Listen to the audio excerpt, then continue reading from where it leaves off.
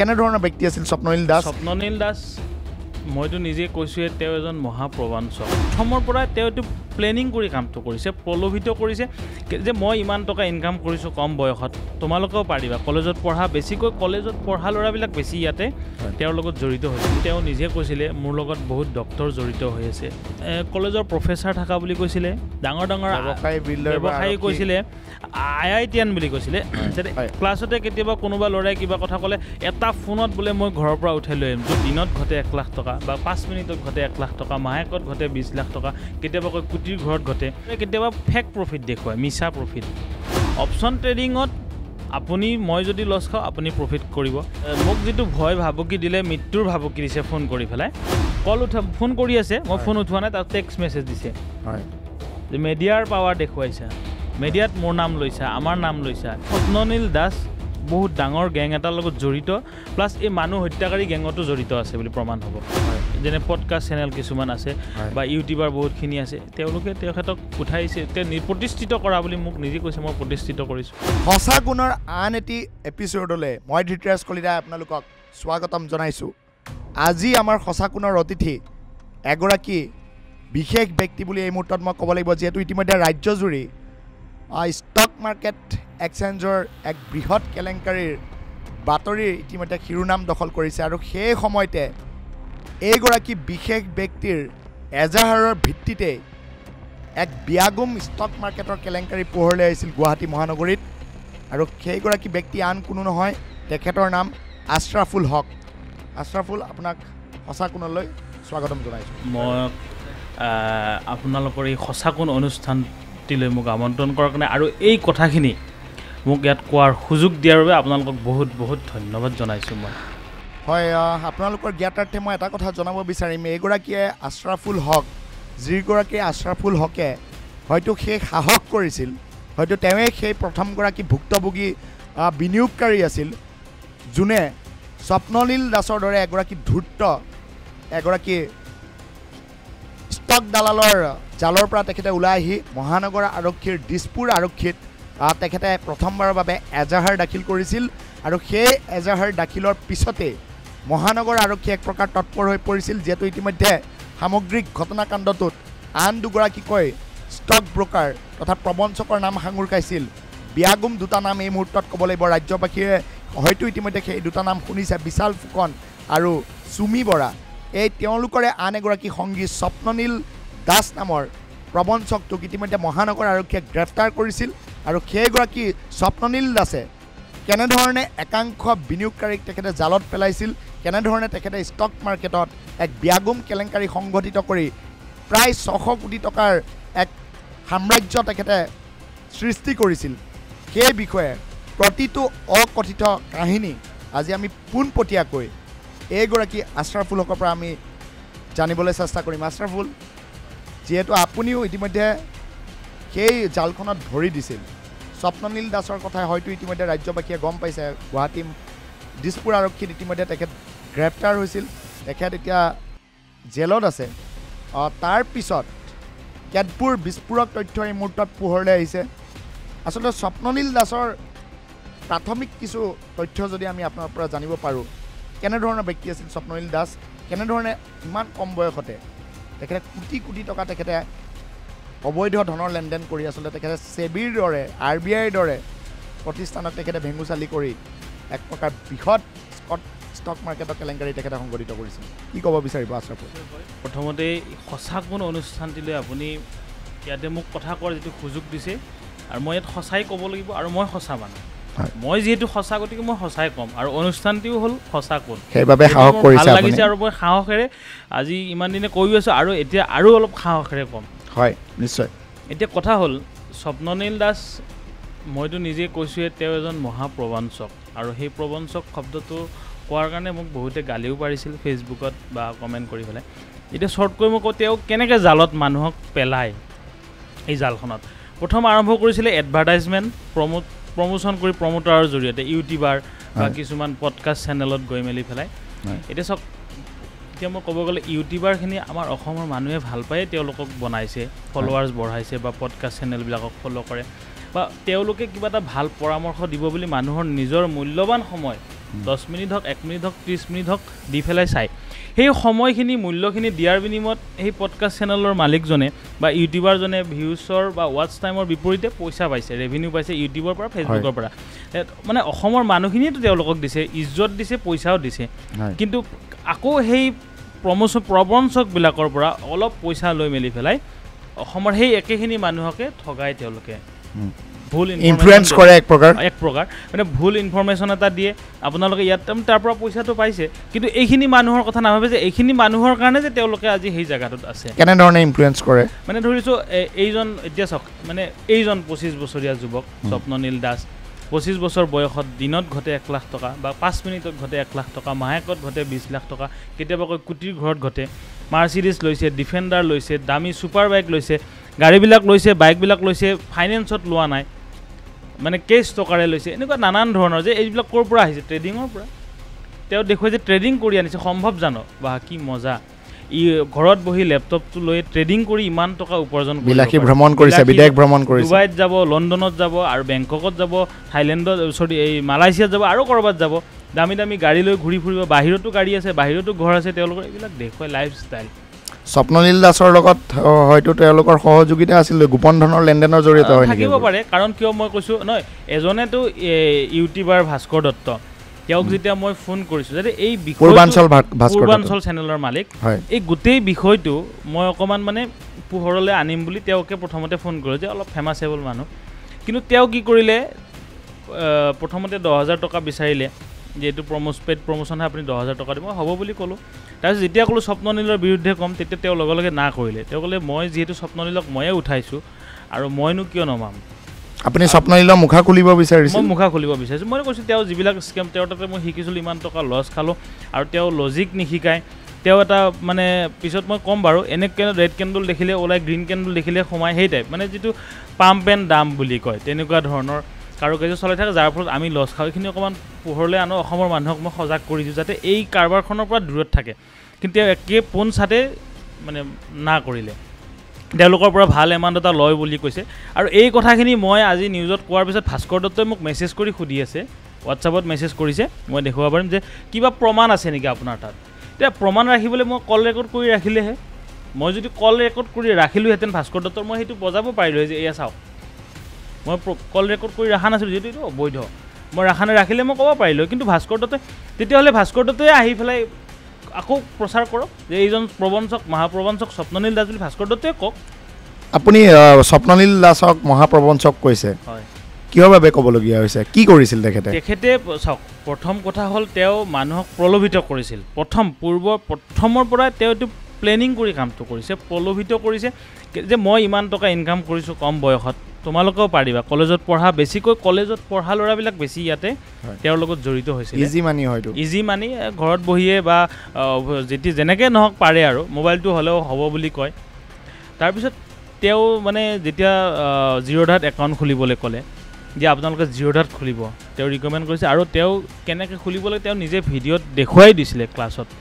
তাৰপিছত তাতে পইচা বিনিয়োগ কৰিবলৈ কৈছিলে। তেওঁ এক্সপেক্টেড ৰিটাৰ্ণটো কৈছিলে যে এক লাখ টকা যদি আপুনি ইনভেষ্ট কৰে এইটো কিন্তু ষ্টক ইকুইটিৰ কথা কোৱা নাই।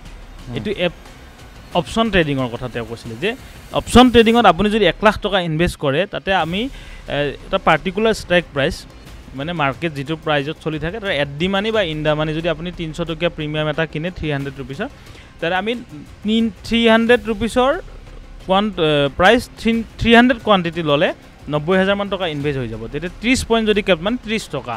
তেতিয়া আমাৰ ন হাজাৰ টকা প্ৰফিট হ'ব। আৰু সেইটোৱে মাহত বিছ দিন ট্ৰেড হ'ব বিছ দিনত ন দুগুণ ওঠৰ এক লাখ আশী হাজাৰ টকা প্ৰফিট হ'ব। তেওঁ এইটো এটা প্ৰলোভন দিলে। হয় বুলি ভাবিলোঁ তেওঁ যিহেতু ধনী হৈছে তেওঁ যিহেতু গাড়ী কিনিছে তেওঁ ইমান বিলাসী জীৱন আমিও পাৰিম।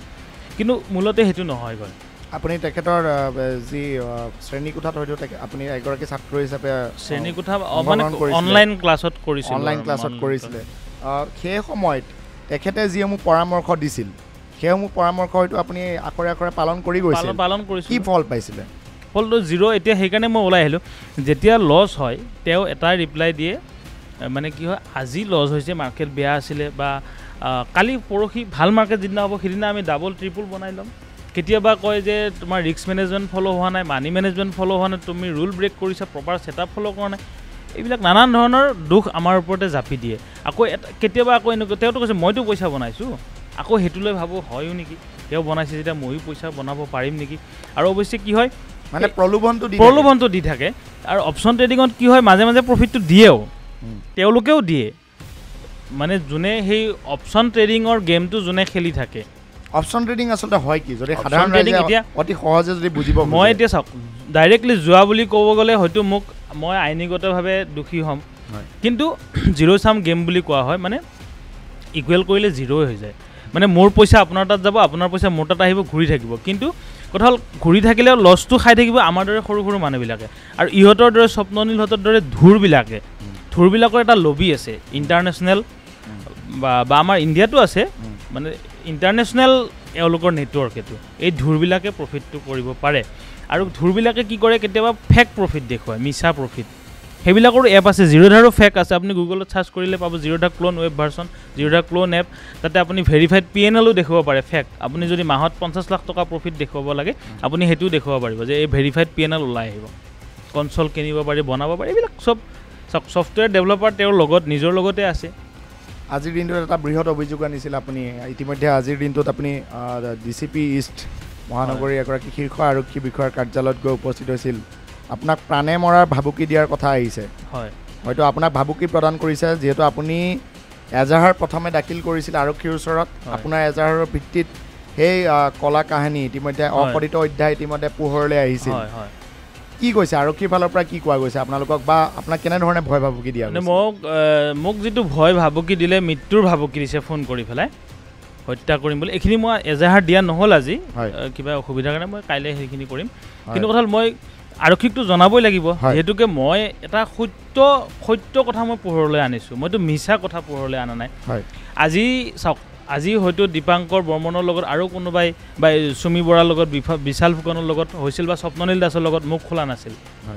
ভয়তে হওক কিবাই হওক মোকোতো প্ৰথম অৱস্থাত যেতিয়া মই হোৱাটছআপ গ্ৰুপত তেতিয়াওতো মোক তাতে ভয় ভাবুকি দিছিলে।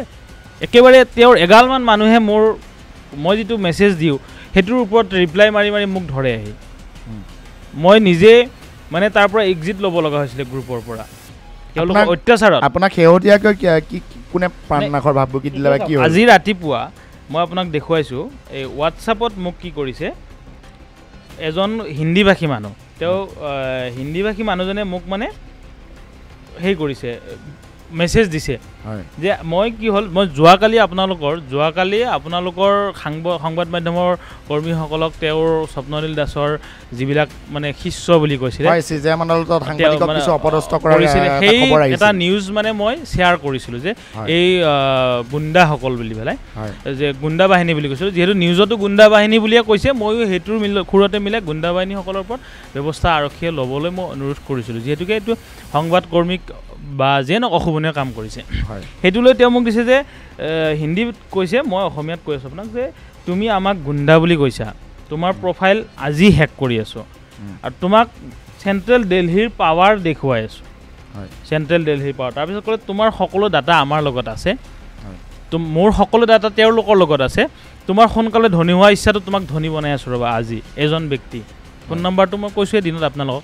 আৰু বহুতে মেছেজ ফেচবুকত মেছেজ কৰিও বহুত নানান ধৰণৰ অশ্লীল শব্দ প্ৰয়োগ কৰি লিখিছে। আৰু ফোন কৰিও মোক বহুত ধামকিছে ৰাস্তাত ক'ত ওলাবি? কিমান দিন ওলাবি? কিমান দিন লগত মানুহলৈ ফুৰিবি? মাৰিম। মাৰাত চাওক কাৰ মৃত্যু কেতিয়া লিখি আছে জন্ম মৃত্যু বিব কোনেও নাজানে।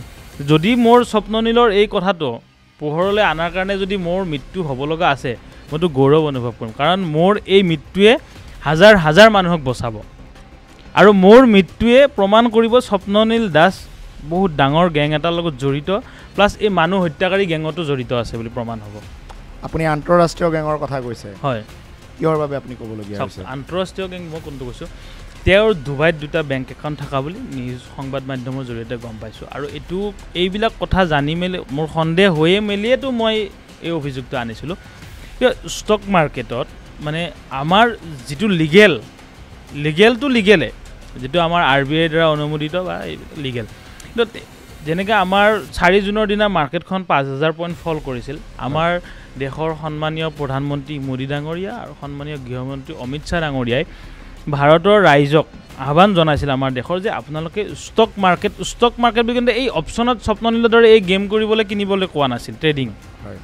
ষ্টক যেনে আমাৰ এটা বেংকৰ শ্বেয়াৰ কিনক বা এটা কোম্পেনীৰ শ্বেয়াৰ কিনক আপোনালোকে নৰ্মেল শ্বেয়াৰ নৰ্মেল যিটো আমাৰ জেনুইন লিগেল হয়। সেইটো আপোনালোকে কিনক। কিয় কিনক? আমাৰ দেশৰ অৰ্থনীতি বা ধৰি ৰাখিব লাগিব। তেতিয়া কিয় কৈছিলে? আমাৰ চোৰাং দেশৰ চোৰাংচোৱা সংস্থাই গম পাইছিলে বাহিৰৰ যিবিলাক আমাৰ দেশৰ শত্ৰু ইনভেষ্টৰ আছে যেনে আমাৰ আদানীক ডুবাইছিলে হিণ্ডেনবাৰ্গৰ এটা ফল্ছ নিউজ এটা তেওঁলোকে দি মেলি পেলাই বহুত কোটি টকা তেওঁক লোকচান কৰাইছিল। কিন্তু সুপ্ৰিম কোৰ্টেতো সেইটো নচ্ছাতে কৰিলে তেওঁলোকৰ। তেনেকুৱা তেওঁলোকে ধান্দা কৰি আছিলে যে ইণ্ডিয়ান ষ্টক মাৰ্কেট ক্ৰেছ কৰিম। আৰু বহুত ইনফ্লুৱেঞ্চাৰে এইবিলাক ইউটিউবত নিউজ ভিডিঅ' বনাই দিছিলে ক্ৰেজ হ'ব ক্ৰেজ হ'ব। মানে ভাৰতীয় বিনিয়োগকাৰীসকলৰ মনত এটা ভয় শংকা ভাৱ আনি দিছিলে। যাতে ষ্টক মাৰ্কেট নামি যায় ষ্টক মাৰ্কেটৰ ওপৰত যাতে মানুহৰ বিশ্বাস নোহোৱা হয় ভৰসা নোহোৱা যায় চৰকাৰৰ প্ৰতি যাতে মানুহৰ মানে মোহভংগ বিশ্বাস নোহোৱা হৈ যায়। এইবিলাক কৰিব যেতিয়া গম পালে তেতিয়া চাওক মোদী ডাঙৰীয়া বা গৃহমন্ত্ৰী ডাঙৰীয়াটো অকলে মাৰ্কেটখন ধৰি ৰাখিব নোৱাৰে। তাৰ কাৰণে আমাৰ সকলো ৰাইজৰ সহায় সহযোগিতা লাগিব তেওঁলোকে আহ্বান কৰিছিল। সেইমতে বহুত মানুহে শ্বেয়াৰ কিনিছিলোঁ ইনভেষ্ট কৰিছিল। তাৰপিছতো তেওঁলোক ইমানেই শক্তিশালী বা সেই গেংটো কি কৰিলে পাঁচ হাজাৰ পইণ্ট ফল কৰিলে। পাঁচ হাজাৰ পইণ্ট মাৰ্কেট ক্ৰেছ কৰিলে। সেই মই কৈছোঁ। সাধাৰণ এগৰাকী হয়তো অসমীয়া যুৱক হয়। তেখেতে সেই ধৰণৰ গেঙৰ লগত আচলতে জড়িত হৈ পৰিছিল। তেওঁ নিজেতো এটা পডকাষ্ট চেনেলত এটা নামী দামী পপুলাৰ টপ টপ পডকাষ্ট চেনেলত গৈ পেলাই তেওঁ নিজে কৈছিলে। এটা বুলি নহয় তিনি চাৰিটাত বা পাঁচটামানত কৈছিলে। ইউটিউব চেনেলতো কৈছিলে যে মই ইণ্টাৰনেশ্যনেল কোম্পানী এটাৰ পৰা চাৰিশ কোটি টকাৰ অফাৰ পাইছিলোঁ। ইণ্টাৰনেশ্যনেল ট্ৰেডাৰ ট্ৰেডিং কোম্পানীৰ পৰা চাৰিশ কোটি টকাৰ অফাৰ তেওঁক কিয় দিছিলে কওকচোন? তেওঁৰ নিশ্চয় কিবা থাকিব লাগিব গুণ। যাৰ কাৰণে তেওঁৰ ভেলু চাৰিশ কোটি টকা। তেওঁ চাৰিশ কোটি টকা ৰিজেক্ট কৰিছে। ৰিজেক্ট কৰি মেলি অসমত সাত হাজাৰ সাত হাজাৰ টকাত কোৰ্চ বিক্ৰী কৰিছে। তেওঁ ভাবিছে যে চাৰিশ কোটি টকাত মই বিক্ৰী হোৱাতকৈ মই ইয়াতে ওৱান মেন আৰ্মি হিচাপত কাম কৰোঁ। সাত হাজাৰ টকাকৈ ল'ম কিন্তু মই চাৰি হাজাৰ কোটিৰ মালিক হ'ম বা চল্লিছ হাজাৰ কোটিৰ মালিক হ'ব পাৰিম এটা সময়ত। তেওঁৰ সেইটো এম্বিশ্যন আছিলে বোধে সেইকাৰণে চাৰিশ কোটি টকা ৰিজেক্ট কৰিছে। গতিকে এইটোৰ পৰাই বুজি পায় যে ইণ্টাৰনেশ্যনেল ট্ৰেডিং কোম্পানী বা ট্ৰেডাৰৰ লগত যে তেওঁ জড়িত আছে তেওঁ নিজে স্বীকাৰ কৰিছে। তেওঁ নিজে স্বীকাৰ কৰিছে। সেই সেইবিলাক এংগলৰ পৰাই মই ভাবিছোঁ যে তেওঁ জড়িত। কেনেধৰণে সম্ভৱ? আচলতে এটা দিনতে গড়ে দুই লাখ তিনি লাখ টকালৈকে এইসমূহ ইনভেষ্টমেণ্টো কম থাকে দহ। লাখমান টকা। বা তেখেতে এনেধৰণে বছৰি হয়তো কেইবা হাজাৰ কোটি টকা তেখেতে হয়। ইতিমধ্যে আৰ্ণ কৰিছিলে। আয় কৰিছিলে। সেই হিচাপে তেখেতে ব্যয়ো কৰিছিলে। কিন্তু তাৰপিছত এতিয়া ক্ৰমাৎ যিসমূহ তথ্য এতিয়া আৰক্ষীৰ তদন্তত পোহৰলৈ আহি আছে সেইসমূহে আৰক্ষীক আচলতে হতচকিত কৰি দিছিলে। কাৰণ এনেসমূহ প্ৰবঞ্চকে চুমি বৰাই হওক। স্বপ্ননীল দাসেই হওক বা বিশাল ফুকনেই হওক ঠাই বেলেগ বেলেগ হয়তো তেওঁলোকৰ মটিভ একে। হয়। কেনেধৰণে আচলতে সম্ভৱ হয় এইসমূহ? চাওক সঁচাকৈ ট্ৰেডিঙত জানো ইমান টকা আছে। নাই নাই এইটো ট্ৰেডিঙত ইমান টকা নাই এইটো মিছা কথা। বহুত ট্ৰেডাৰে ছুইচাইড কৰিছে। এইবিলাক আমি নিউজতে দেখিছোঁ। হয়। বহুত ট্ৰেডাৰ ছুইচাইড কৰিছে আৰু আপুনি অপশ্যন ট্ৰেডিং স্বপ্ন নিলে অপশ্যন ট্ৰেডিং কৰে আৰু অপশ্যন ট্ৰেডিঙৰ প্ৰফিটটো দেখুৱাইহে মানুহক আকৰ্ষিত কৰিছে। ইকুইটিত ইমান প্ৰফিট কৰিতো তেওঁ কাকো আকৰ্ষিত কৰা নাই। অপশ্যন ট্ৰেডিংটো এটা জিৰ' চাম গেম মোৰ পইচাটো মই যদি লছ মোৰ লছ হৈছে আপোনাৰ প্ৰফিট হৈছে আপোনাৰ যদি লছ হৈছে মোৰ প্ৰফিট হৈছে এনেকৈ ঘূৰি আছে। চাওক বেংক নিফটিত তেওঁ মেইনলি অপশ্যন ট্ৰেডিং কৰে। বেংক নিফটি পোন্ধৰটা বেংক মই জানাত বৰ্তমান পোন্ধৰটা বেংক মিলে এটা ইণ্ডেক্স মানে একত্ৰীকৰণ কৰিছে পোন্ধৰ এক মানে একলগ হৈছে আৰু। এটা বাস্কেটত ভৰাইছে ধৰক। তাতে আকৌ ডিৰাইভেটিভ তাতে অপশ্যন আহি যায় future and option option trading কৰে। অপশ্যন ট্ৰেডিঙত আপুনি মই যদি লছ খাওঁ আপুনি প্ৰফিট কৰিব। কিন্তু তাতে ছেবিৰ পৰাই ডিছক্লেমাৰত দিয়াই থাকে যে নাইণ্টি পাৰ্চেণ্ট ট্ৰেডাৰে লছ খায়। আৰু কিছুমান সংস্থাই কৈছে নাইণ্টি ফাইভ পাৰ্চেণ্ট কিছুমানে কৈছে নাইণ্টি নাইন পাৰ্চেণ্ট ওৱান পাৰ্চেণ্টহে প্ৰফিটেবল সেই ওৱান পাৰ্চেণ্ট হ'ল এই ধুৰবিলাকৰ লবিটো। এই ধুৰবিলাকৰ লবিটো। কিন্তু এই লবিবিলাকৰ প্ৰফিট যে কৰে বা তেওঁ কিছুমানে সেই সেই শ্বেয়াৰটো মেনুপুলেট কৰে যেনে বেংক নিফটি তাতে মেনুপুলেশ্যনো কৰে। ডাঙৰ ডাঙৰ যাৰ যাৰ বহুত বহুত পইচা যেনে পাম্পিং ডাম্পিং বুলি কৈছে। এটা ফল্ছ ফল্ছ এটা মানে বাইং দেখুৱাই দিলে। ছাপ'জ মাৰ্কেটখন ওপৰত যোৱাৰ কাৰণে এডাল গ্ৰীণ কেণ্ডল ফল্ছ দেখুৱাই দিয়ে। তেতিয়া আমাৰ দৰে ৰিটেইলাৰবিলাকক টিপছ দিলে যেনে স্বপ্ন নিলে টিপছ ব্যৱহাৰ কৰে বা বেলেগ কোম্পানীবিলাকে টিপছত সকলোৱে বাই কৰিলে তাৰপিছত যেতিয়া পইচাটো সোমাই গ'ল আমাৰ পইচাটো তেতিয়া তেওঁলোকে তেওঁলোকৰ প্ৰফিটটো বুক কৰি দিলে মানে আমি তেতিয়া লছত আহি যাওঁ যেতিয়া ওপৰৰ পৰা তেওঁলোকে চেল কৰি দিয়ে তেতিয়া আমাৰ লছ হৈ যায়। এইগৰাকী স্বপ্ননীল দাসে নিজৰ এই শিক্ষাৰ্থীসকলক ছাত্ৰসকলক আচলতে বিপথে পৰিচালিত কৰি তেওঁলোকে নিজে মোৰ ক্ষেত্ৰতে হৈছে? মোৰ ক্ষেত্ৰতে হৈছে। আপুনি কিমান দিনৰ কৰ্চ লৈছিল তেখেতৰ? মই এমাহ লৈছিলোঁ থিয়ৰী শিকাইছিলে আৰু এমাহ প্ৰেক্টিকেল লাইভ ট্ৰেডিং মানে লাইভ মাৰ্কেটত হয়। আপুনি কেতিয়া প্ৰথমবাৰৰ বাবে ধৰাই পেলাইছিল যে আপোনালোকৰ লগত এটা চিটিং হৈ আছে? মইতো এ, চাৰি মাহ ছমাহমান মই গমেই পোৱা নাছিলোঁ এইবিলাক। মই ভাবি আছিলোঁ হয়ে নেকি হয়ে নেকি? কিমান ধন হেৰুৱালে আপুনি এতিয়ালৈকে? মই সোতৰ লাখ। সোতৰ লাখ টকা। সোতৰ লাখ হয়। সেই ধন বিনিয়োগ কৰাৰ পিছত তেখেতৰ পৰামৰ্শ মতে আপুনি হয়তো বিনিয়োগ তেখেতৰ পৰামৰ্শ মতে আপোনাৰ এই সোতৰ লাখ ব্যৱহাৰ কৰি হয়তো স্বপ্ননীল দাসে বহু ধন আহৰণ। এতিয়া মই চাওক তে মোৰ পইচাটো যে লছ হৈছে বা মোৰ দৰে আৰু হাজাৰ মানুহৰ যে পইচা লছ হৈছে কোনোবা এজনৰ তাততো সোমাইছে। হয়। জিৰ' চাম গেম মানে মোৰ পইচা মই লছ হৈছে মানে কাৰোবাৰ তাত গৈছে। সেই মানুহজনে সেই যিজন ব্যক্তি বা যিখন ইনষ্টিটিউট যোনে প্ৰফিটটো কামাইছে কৰিছে তেওঁলোকে এজেণ্ট হিচাপত এওঁলোকক বহুৱাই দিছে ছাপ'জ বা তোমালোকে মানুহ আনা লছ খুওৱা। সেই তাৰ পইচা আমাৰ তাত আহিব প্ৰফিট হ'ব তোমাক আমি দি দিম।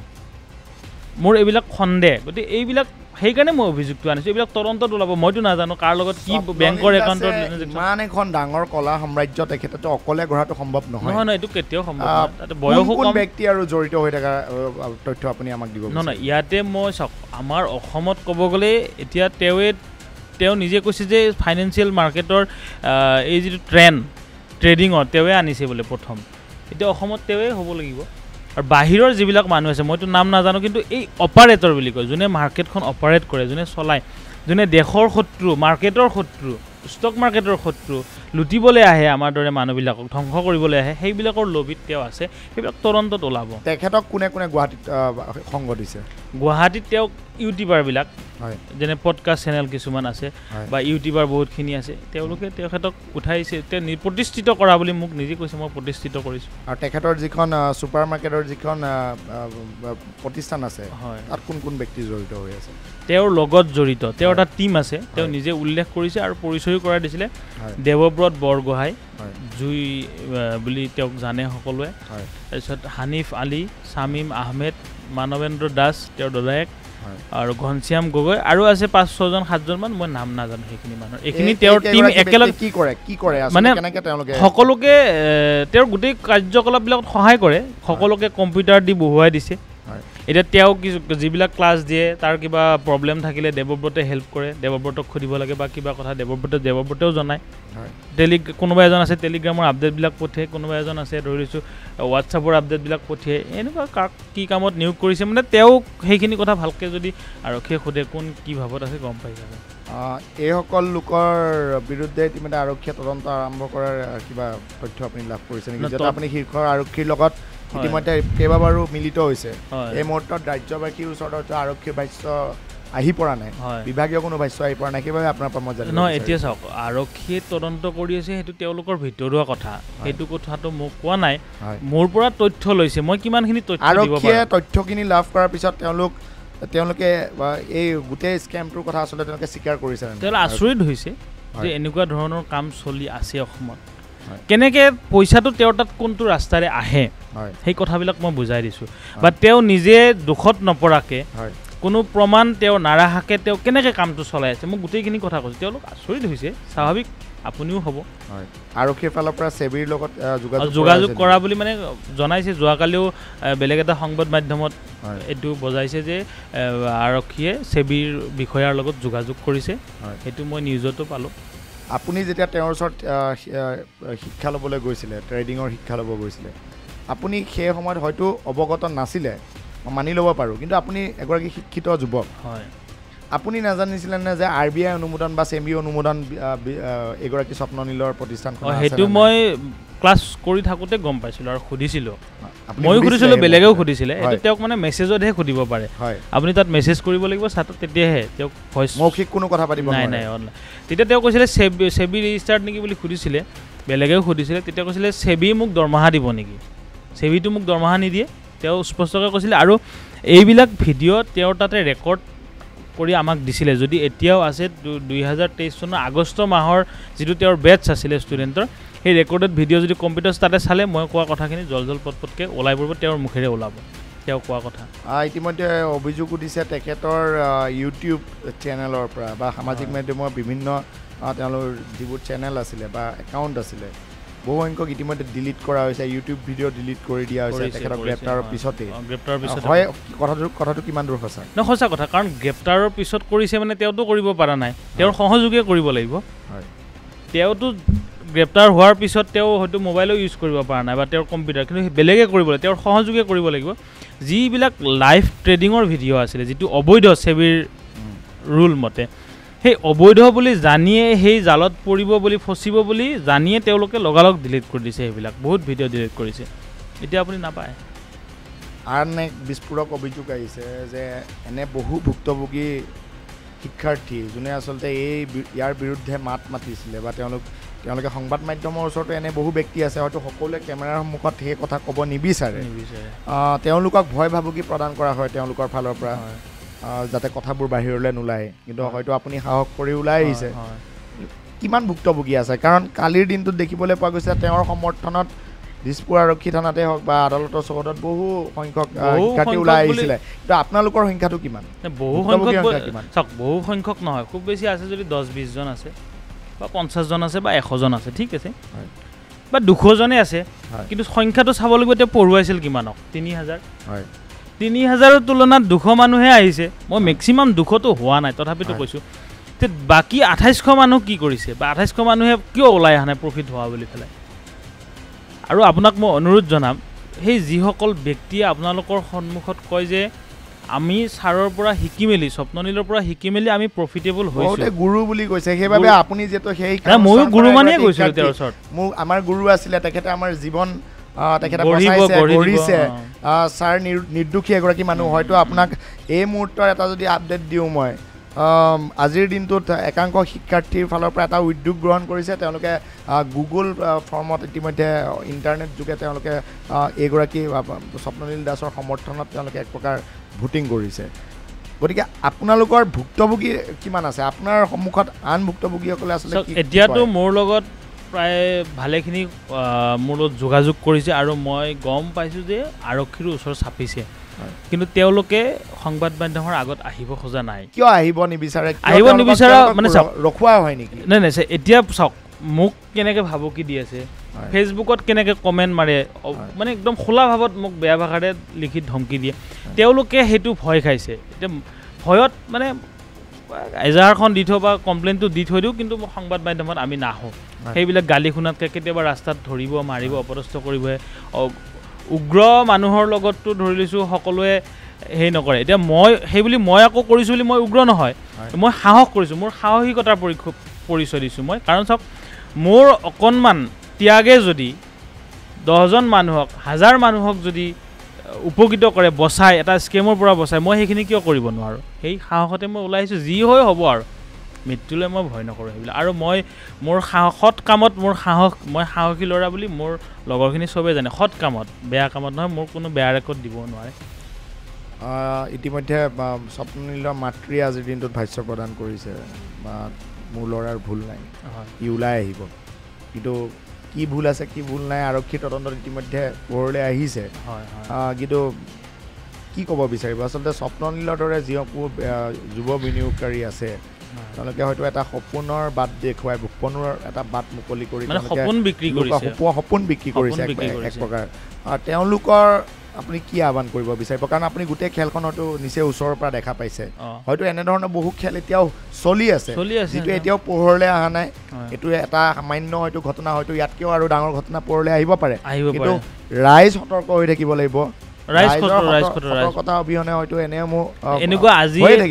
আজি জেলত গৈছে দুজন কালি আকৌ নতুনকৈ ওলাব। চৰকাৰে গম নোপোৱাকৈ বা প্ৰশাসনে গম নোপোৱাকৈ। কিন্তু ৰাইজে যদি সেই লোক সেইসকল মানুহক প্ৰশ্ৰয় নিদিয়ে বা তেওঁলোকৰ কাৰ্যকলাপবিলাক যদি তাৎক্ষণিকভাৱে আৰক্ষীক জনায় তেতিয়া এইবিলাক বন্ধ হ'ব। ৰাইজ সচেতন হ'ব লাগিব প্ৰথমতে। আৰু মই মাতৃৰ কথাটো আপুনি উলিয়াইছে যেতিয়া কওঁ চাওক তেওঁ এজনী ষাঠিৰ ঊৰ্ধৰ মহিলা।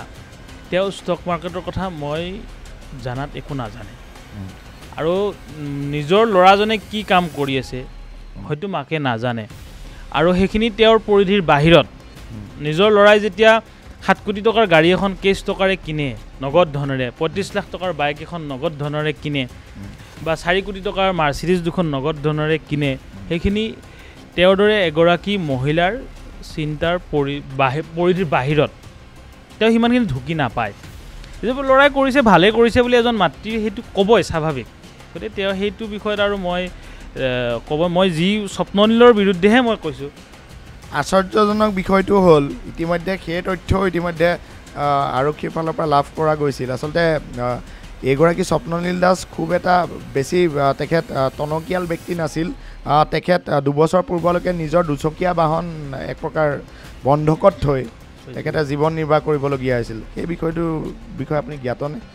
নাই মই আপোনালোকৰ এন বি নিউজৰ নিউ বাতৰিৰ যোগেদিহে মই গম পালোঁ। তেওঁ বাইক মটৰ চাইকেল বন্ধকত থোৱা বুলি। কিন্তু তেওঁ এটা কথা ক্লাছত কৈছিলে যে আগতে মই দহ টকা এটা পকেটত লৈ ঘূৰিছিলোঁ।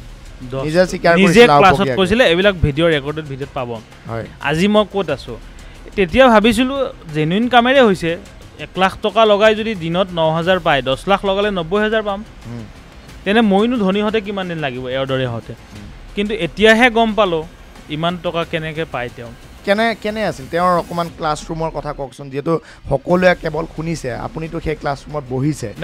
মানে? তেওঁ এটা কম্পিউটাৰৰ সন্মুখত বহি পেলাই ক্লাছটো কৰে অনলাইন আমি নিজৰ নিজৰ কম্পিউটাৰত বা কাৰোবাৰ মোবাইলত জুম এপৰ জৰিয়তে গোটেইখিনি আমি ক্লাছ তেওঁ যেনেকৈ আমাৰ তেতিয়া ইমান মনত নাই এশৰ পিছত এশৰ প্লাছ বা দুশৰ ভিতৰত এনেকুৱা কিবা আছিলে হাণ্ড্ৰেড প্লাছ টু হাণ্ড্ৰেডৰ ভিতৰত এনেকুৱা। ষ্টুডেণ্ট তেওঁৰ এটা বেটছত থাকে কোনোবাটোত বোলে তিনি চাৰিশ আছিল বুলি মই শুনিছোঁ। বিগত আঠচল্লিছ ঘণ্টাত ইতিমধ্যে অসমত প্ৰায় অৰ্ধ শতাধিক এনেধৰণৰ ষ্টক মাৰ্কেটৰ দালালক হয়। প্ৰবঞ্চকক ইতিমধ্যে আৰক্ষীয়ে গ্ৰেপ্তাৰ কৰিছে। মুখ্যমন্ত্ৰীগৰাকীয়ে কঠোৰ নিৰ্দেশনা প্ৰেৰণ কৰিছে। ষ্টক মাৰ্কেটৰ এই কেলেংকাৰী ৰাজ্যত সম্পূৰ্ণ উৎখাত কৰাৰ ইতিমধ্যে আহ্বান কৰিছে মুখ্যমন্ত্ৰীগৰাকীয়ে। G P. সিঙৰ কঠোৰ নিৰ্দেশনা হয় হয়। ইতিমধ্যে পৰা- প্ৰে- প্ৰেৰণ কৰা বুলি আমাৰ তথ্য আছে। হয় হয়। কি ক'ব বিচাৰিব? মুখ্যমন্ত্ৰীগৰাকীৰ এই গোটেই সমস্যাটোৰ শিপাডাললৈ তেওঁ যাবলৈ সক্ষম হ'বনে নাই? কাৰণ এইখন এটা বৃহৎ চক্ৰ হিচাপে ইতিমধ্যে পৰিগণিত হৈছে। ৰাজ্যৰ প্ৰতিটো প্ৰান্তত সৰু বৰ এনে বহু ষ্টক ব্ৰোকাৰৰ ইতিমধ্যে তথ্য হয়তো আহিয়ে আছে। চাওক প্ৰথমতে মই অসমৰ সন্মানীয় মুখ্যমন্ত্ৰী মহোদয়ক মই ধন্যবাদ জনাইছোঁ। বহুত বহুত ধন্যবাদ জনাইছোঁ। কিয়? এই যিটো ষ্টক কেলেংকাৰটো মানে ট্ৰেডিঙৰ নামত যিটো কেলেংকাৰী কৰি আছে এই ট্ৰেডিঙৰ কেলেংকাৰীটো তেওঁ একেবাৰে মানে পুলি পোখা নোহোৱা কৰিবলৈ যেনেকৈ অসম আৰক্ষীক নিৰ্দেশ দিছে বা তেওঁ নিজেও সদায় এইটোৰ ওপৰত নিৰীক্ষণ কৰি থকা বুলি আমি শুনিছোঁ নি- বাতৰিযোগে আৰু সন্মানীয় আৰক্ষী সঞ্চালক প্ৰধান মহোদয় চি পি সিং ডাঙৰীয়া তেওঁ এই বিষয়টোক উম, মানে পোনপটীয়াভাৱে নিৰীক্ষণ কৰি আছে। মই ভাবিছোঁ হাণ্ড্ৰেড পাৰ্চেণ্ট এশ শতাংশ তেওঁলোকে ইয়াৰ যিটো শিপা অসমত ক'ত ক'ত শিপা যাব পাৰিব তাৰ কাৰণে কিন্তু আমাৰ ৰাইজেও সহযোগ কৰিব লাগিব। কাৰণ চাওক পুলিচৰ কাৰণে মই ভাবোঁ ইমানো সম্ভৱ নহয় যে ক'ত ক'ত ব্ৰকাৰবিলাক সোমাই আছে দালালবিলাক বিচাৰি উলিওৱা। কিন্তু আমিয়ে ক'ব লাগিব। মই যেনেকৈ কৈছোঁ আৰু কোনোবাই ক'ব লাগিব যে অমুকত আছে তমুকত আছে। আৰু অকল যে পুলিচে অকল এইটো কামতে ঘূৰিব সেইটো নহয় বেলেগ কামো থাকে। গতিকে আমিও সহযোগ কৰিব লাগিব যে মই ৰাইজকো আহ্বান জনাম যে আপোনালোকেও কওক আৰক্ষীক খবৰ দিয়ক যে এইজন ব্ৰকাৰে আমাক লগত এনেকুৱা কৰিছে এইজন প্ৰবঞ্চকে এনেকুৱা কৰিছে। আপোনালোকে কওক তাৎক্ষণিক। যেতিয়া সকলো ৰাইজে সহায় সহযোগিতা কৰিব তেতিয়া এইটো ধুনীয়াকৈ নিৰ্মূল কৰিব পাৰিব। এইটো নোহোৱা কৰিব পাৰিব। আৰু অসম চাওক ট্ৰেডিং বুলি ক'লে ট্ৰেডিং বুলি ক'লে চাওক যিটো R B I reserve bank of ইণ্ডিয়াৰ দ্বাৰা অনুমোদিত তেনেকুৱা কৰিব পাৰে। সেইটো মই কোৱা নাই। তেনেকুৱা অসমৰ মুখ্যমন্ত্ৰী মহোদয়েও কৈছে বা আমি সেইবিলাক গুগলতো পাইছোঁ। কিন্তু এইবিলাক যিবিলাক যেনে চেবি ৰেজিষ্টাৰ্ড নোহোৱা স্বপ্ননীল দাসৰ দৰে ব্ৰকাৰ প্ৰবঞ্চক বা কিছুমান আৰ বি আইৰ দ্বাৰা অনুমোদিত নোহোৱা সেইবিলাকৰ লগত পাল্লাত ন মই পৰি যিটো হ'ল হ'ল। চাওক আজি আৰু এজন ব্যক্তিৰ কথা মই উল্লেখ কৰিম। ফিনলেব Yes. ট্ৰেডিং একাডেমী ডিব্ৰুগড়ৰ। তেওঁ সদায় ইউটিউবত ভিডিঅ' দিয়ে যে মই তেওঁ কি কৰে পাঁচ হাজাৰ কোৱান্টিটি বাই কৰে দুই দুই টকা তিনি টকা খাই দহ হাজাৰ টকা প্ৰফিট কৰে বা দুই হাজাৰ কোৱান্টিটি লৈ দুই টকা খাই চাৰি হাজাৰ টকা প্ৰফিট কৰি ওলাই আহে কিন্তু তেওঁৰ ষ্টুডেণ্টে নোৱাৰে। তেনেকৈ তেওঁৰ তাতে শিকা মানুহ বহুতৰো ঘৰ সংসাৰ বৰবাদ হৈ গৈছে টকা পইচাৰ। কিন্তু ক'ব ভয় কৰে লাজ কৰে লাজ কৰে। যেনে আজি এতিয়া মোক কমেণ্ট দিছে এই টকা পইচা হেৰুৱাই পেলাই পাগল হৈ ঘূৰি আছে। সেইটো পাগল টকা পইচা হেৰুৱাই মই পাগল হোৱা নাই।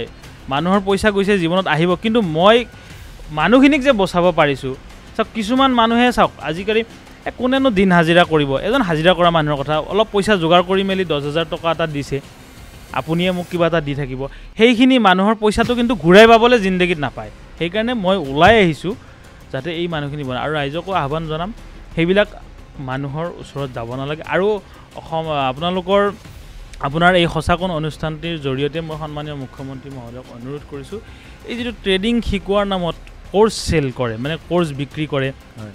দহ হাজাৰ টকীয়া সাত হাজাৰ টকীয়া বিছ হাজাৰ টকীয়া এই জালখন বন্ধ কৰি দিব লাগে। কাৰণ এই ক'ৰ্চ শিকোৱাটো কম পইচাত শিকোৱাটোৱে জাল।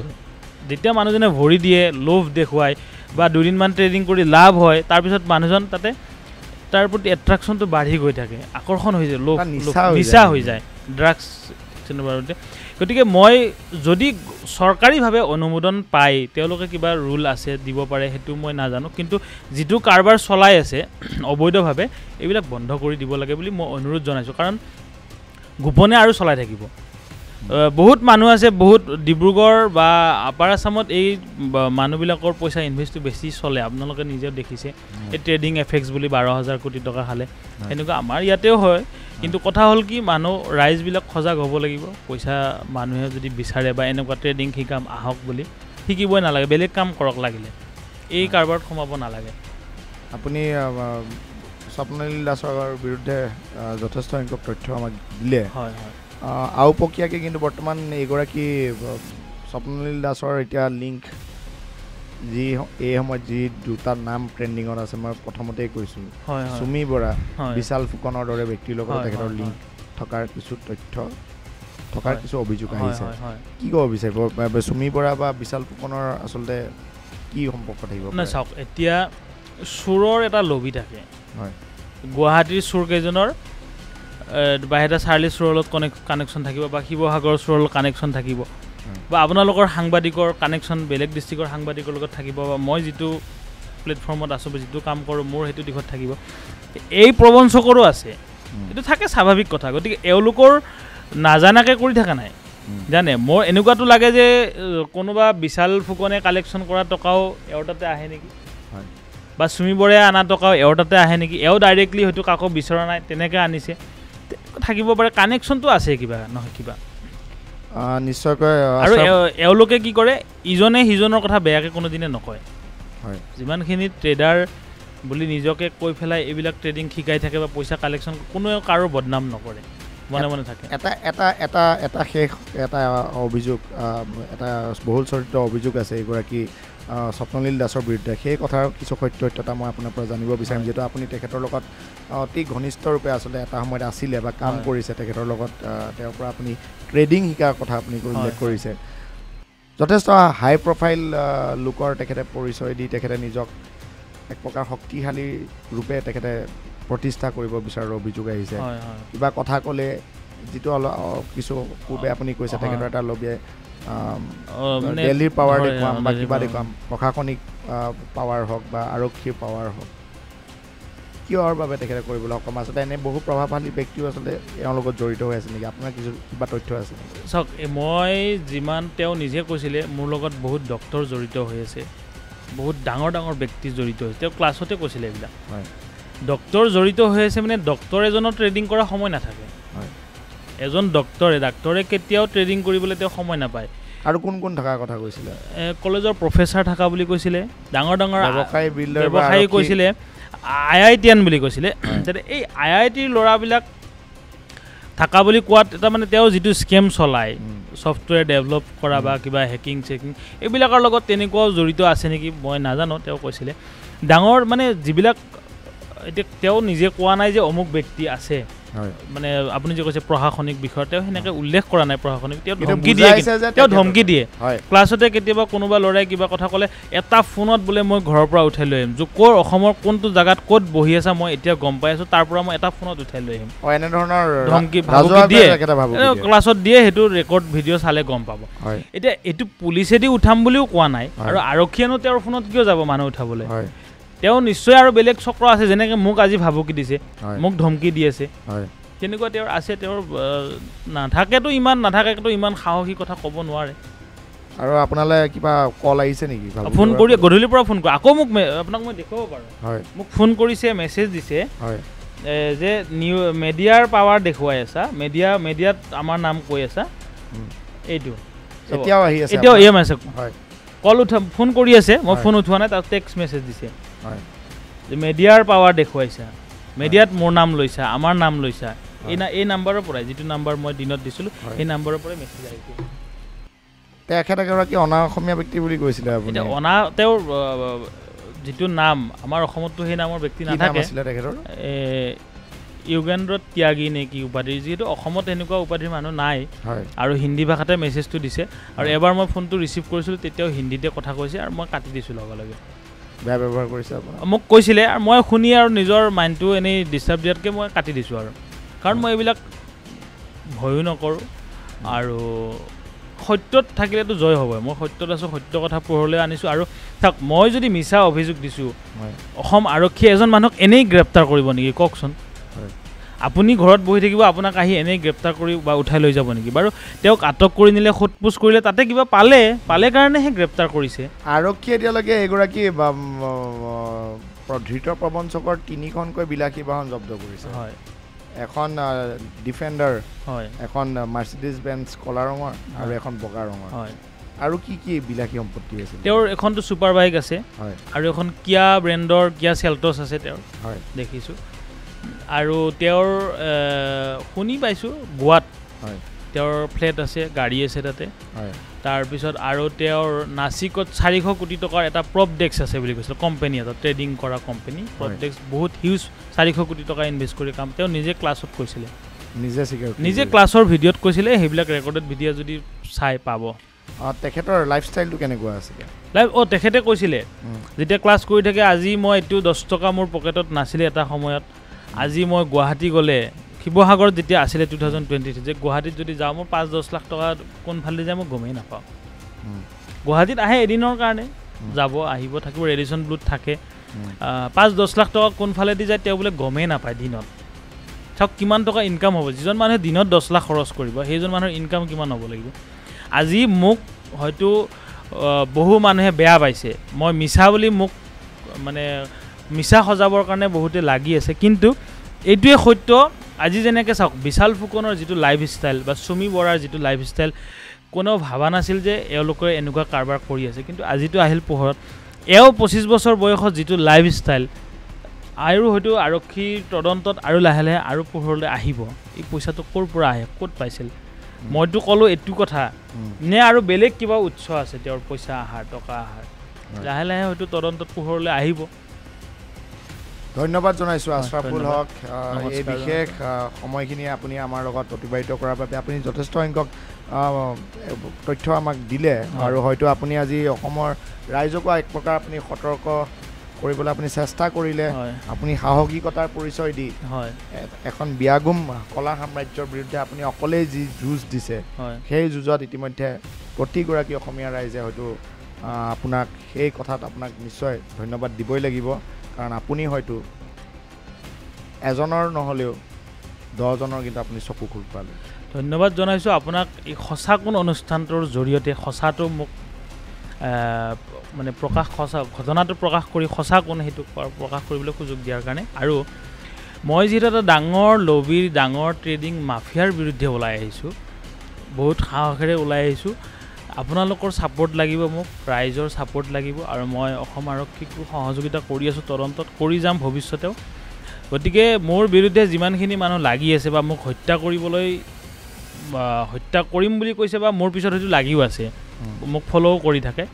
গতিকে যেতিয়া যিটো হ'বতো হ'বই কিন্তু ৰাইজৰ ছাপৰ্ট থাকিলে ৰাইজৰ আশীৰ্বাদ থাকিলে আপোনালোকৰ আশীৰ্বাদ থাকিলে আৰু সত্য য'ত সত্যত থাকিলে কোনো শক্তিয়ে একো কৰিব নোৱাৰে বুলি মই ভাবোঁ।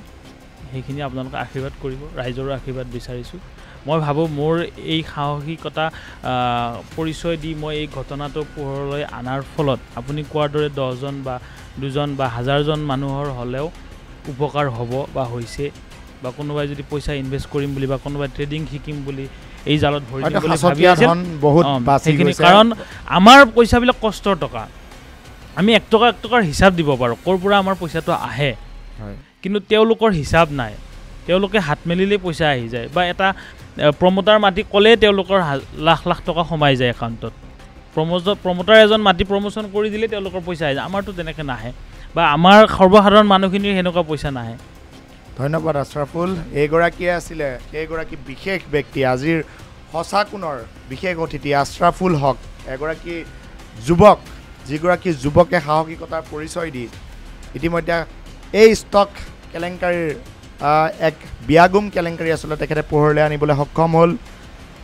কিছুদিন পূৰ্বেই তেখেতৰ এজাহাৰৰ ভিত্তিত হয়তো এই বৃহৎ গেংটোৰ বিৰুদ্ধে প্ৰথমখন এজাহাৰ দাখিল কৰিছিল এইগৰাকী আশ্ৰাফুল হকে। আৰু তাৰ পিছতেই মহানগৰ আৰক্ষী তৎপৰ হৈ পৰিছিল সেইগৰাকী ধৃত প্ৰবঞ্চক স্বপ্ননীল দাস সহিতে। তেখেতৰ সাংগু পাংগু বহুতক আৰক্ষীয়ে ইতিমধ্যে সোধপোছ কৰিছে। দিছপুৰ আৰক্ষীয়ে তদন্ত অব্যাহত ৰাখিছে। আৰু সেই সময়তে আন এক অভিযোগ প্ৰতি অভিযোগৰ মাজতেই আজিৰ দিনটোত আশ্ৰাফুল হকক এক প্ৰকাৰ প্ৰাণে মৰাৰ ভাবুকি দিয়াৰো এক বিস্ফোৰক অভিযোগ আহিছে। গতিকে এন বি নিউজে তেওঁক সুস্বাস্থ্য কামনা কৰিছোঁ। তেখেতৰ সুৰক্ষা যাতে নিশ্চিত কৰে অসম আৰক্ষীয়ে তাৰ প্ৰতি আমি লক্ষ্য ৰাখিবলৈ অসমৰ মুখ্যমন্ত্ৰী ডাঙৰীয়াৰ লগতে আৰক্ষী সঞ্চালক প্ৰধান জি পি সিং ডাঙৰীয়াকো আমাৰ ফালৰ পৰা আমি আহ্বান কৰিছোঁ। বৰ্তমান মই ধৃতৰাজ কলিতাই আজিৰ সঁচা কোণৰ পৰা বিদায় লৈছোঁ। ধন্যবাদ।